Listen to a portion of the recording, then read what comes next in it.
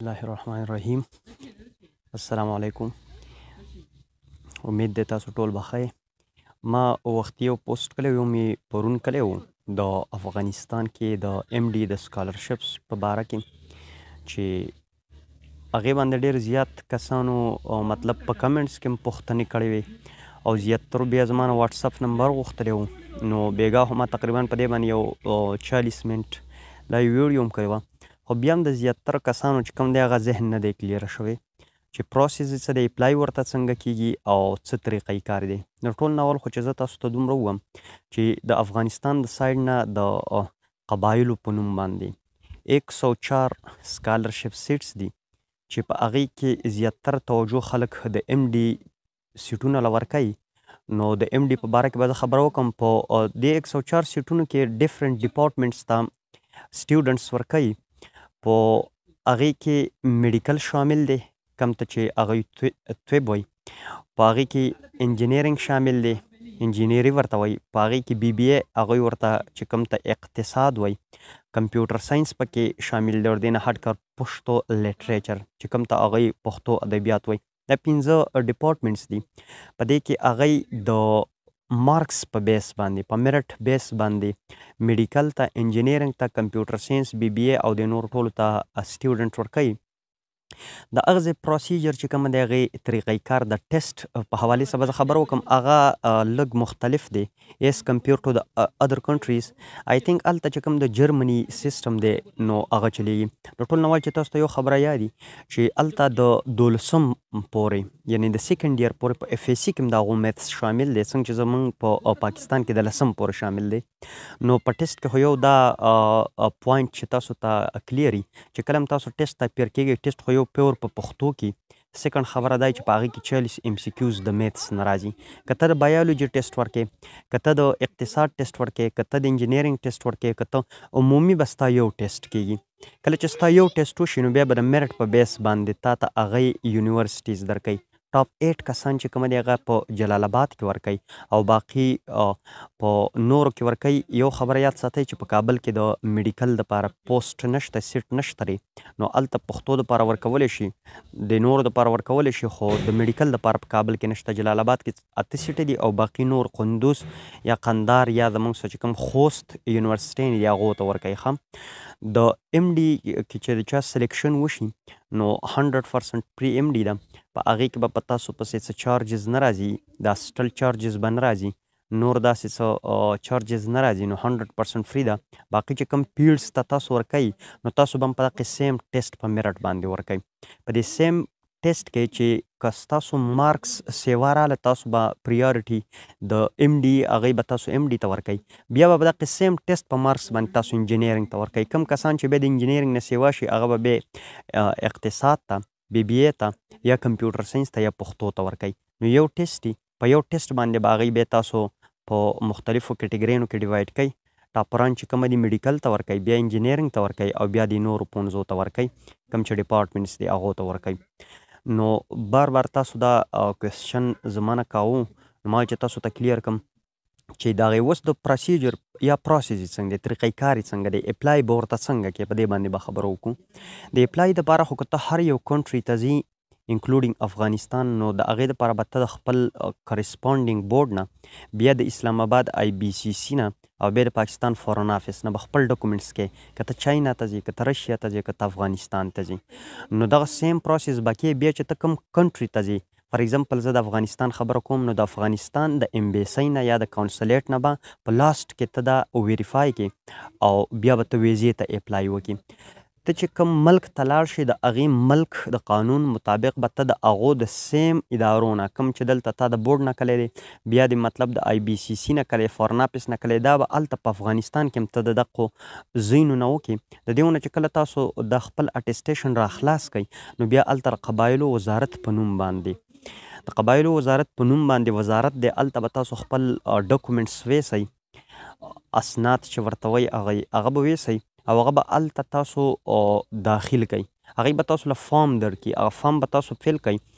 نو د فارم د فل کېدو نه بعد به بیا تاسو الیجیبل استئ چې تاسو د ګورنمنت یونیورسټۍ ته یا کم پرایویټ یونیورسټۍ ته اپلای کوئ نو تاسو ټیسټ ورکولی شئ د دې لپاره به ستاسو مست دی چې ته افغانستان ته لاړ شئ د افغانستان لپاره 2000 پندر نه مخکې د ویزې څه شرط نه وو نو کسان به دسې تلې شو اوس شرط دا دی چې ویزه مثال ستاسو لګیدلي ته به په ویزه باندې ځې په ویزه باندې چې کله هلته لاړ شې نو بیا میټر نه کوي که بیا ته په ویزه باندې هلته خپل ډاکومنټس کې په پاسپورټ باندې او بیا که نه وي نو هلته به تاته قبایلي کارډ میلاو شي ته به قبایلي کارډ ته اپلای وکړي چې ستاسو د قبایلو خپل کار درسئ د قبایلو نه مراد زمونږ دلته دا دی چې تاسو که د هر ځای پښتانه استئ تاسو دې ته اپلای کولای شئ پېښور والا ورته شي مردان والا ورته شي سوات والا ورته شي شانګلې والا ورته شي چې څومره پښتانه دي چې هغه پښتو وایي نو هغه ټول دې ته اپلای کولای شي خاص کر دا د قبایلو لپاره دی خو چونکه قبایل ډېر کم ځي یا نه وي نو د دې د وجې نه هغه یې ټول چې څومره صرف په نوم باندې پښتون وي هغو ته پریارټي ورکوي نو پښتانه دې ته اپلای کولای شي. نو کله چې تاسو هلته قبایلي کارډ واخلئ نو بیا هلته تاسو کولی شئ چې په خپل قبایلي کارډ باندې هلته تاسو خپل اډمیشن بیا د هغې مزید کوم پروسس دی هغه تاسو وکولی شئ او په ټیسټ کې تاسو اپیر شئ کله چې تاسو په ټیسټ کې اپیر شئ هلکان کوېسچن دا کوي چې ټیسټ موږ پیل کړو نو بیا به څه کوو نو یو ته خو ما وویل چې ته بیا کولی شئ چې هلته مزدورۍ ته پاتې شئ هلته ډیره خیسته مزدوریم میلاویږی څه مشکل نشته دی که مزدوری ته نشی نو چه فیل شوی نو خو په ټوله دنیا کی خو فیل فیل یی کنه نیکسټ اټیمپټ وکه نیکسټ اټیمپټ وکه نیکسټ اټیمپټ وکه یو دویم کس زما نه دا کویسچن وکړو چه یاره زما پرسنټیج چه کومه دی د سیکسټی نه کم دی او ففټی سیکس پرسنټ دی نو هغه ته ما وویل چه تا بیا پیم ډی سی نه الاوډ کوی نو یو خبره تاسو کلیر یاد ساتی که څوک د کم مارکس ته ځی افغانستان ته او هلته نه ایم ډی کوی یای د رشیا نه کوی یای ایون د چاینا نه کوی نو په بار ملک کې دا میټر نه کوي هلته هغوی ستاسو د اف ای سي ډاکومنټس غواړي او د اف ای سي په ډاکومنټس کې که تا اې ګریډ یې که بي ګریډ یې که سي ګریډ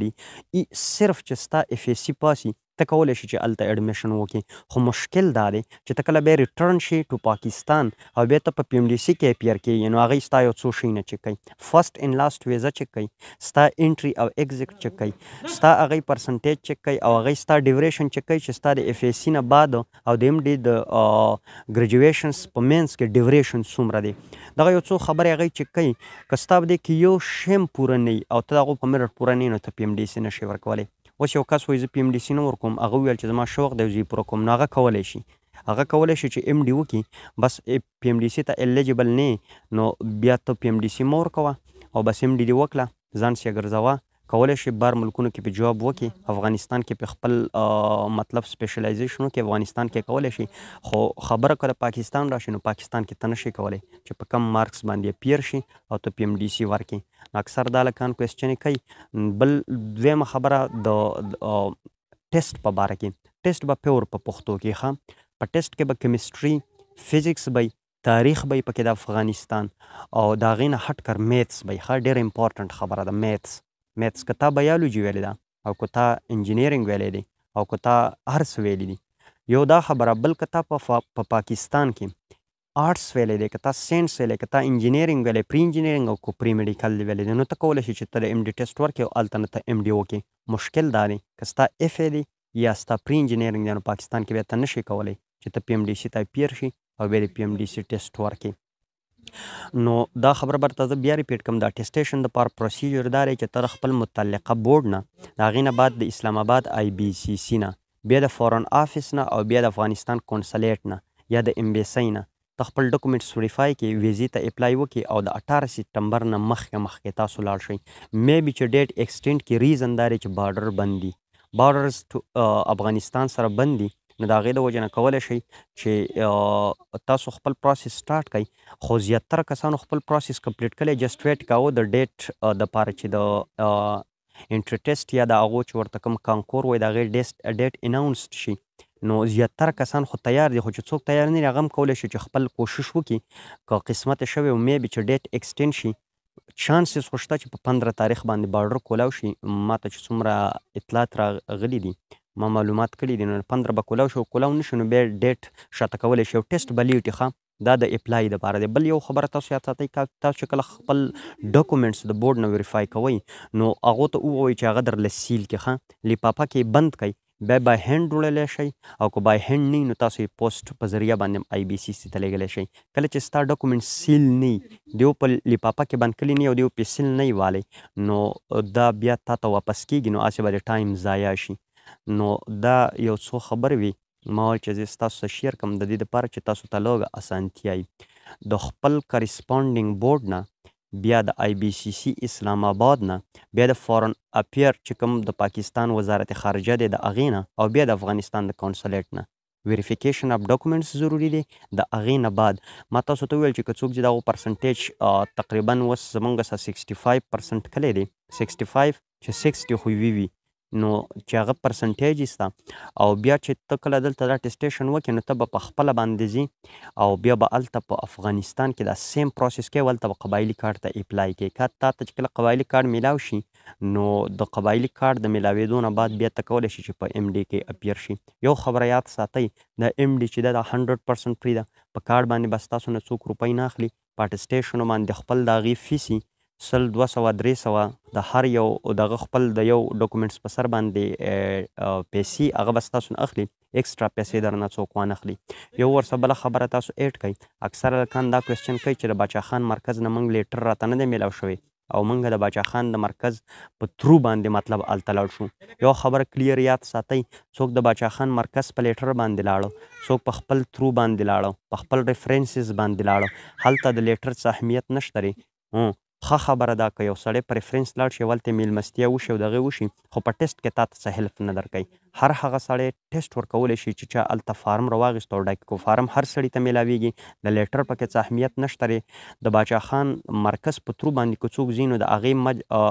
بس صرف درته دا پیدای چې ګیدرینګ به کسان به ملګری به یو کس به لیډینګ کوي هغه به درنه پیسې غیستي 10 زره 15 زره 20 زره ته که په خپل لاړ شو ستا ریفرنس نو ستا 3 4 15 زره روپۍ کرايه مرايه ولګي نور دغه پراسس کې تاته هلته هيڅ ريليف نه ملاويږي نو که د چا ريفرنس يې ښه خبره ده په ريفرنس دې لاړ شي خو که چا ريفرنس نه نو دا ضروري نه ده چې دا ټيسټ نشي ورکولای زما سره يو بل کس هم کنټيکټ کړی او هغه وويل چې مونږ ته چا وويل چې ريفرنس دې نه په باچا خان مرکز کې تاسو ته اينډي کې اډميشن نه ملاويږي او تاسو نشئ کولای غلطه خبره ده غلط چا څوک فویه کلی دی هر سړی کولی شی په میرټ بیس باندی اخلی سپارش پکی بلکل نه چلیږی پیسی میسی نه چلیږی نور سپارش خو تاسو ته پته ده که رچا وی او په های لیول وی نو پیغمبر علیه السلام به هم د دوزخینو سپارش کوی جنت ته به ځی نو د هغی خو څه دغه نشته دی خو زما چی څومره خپل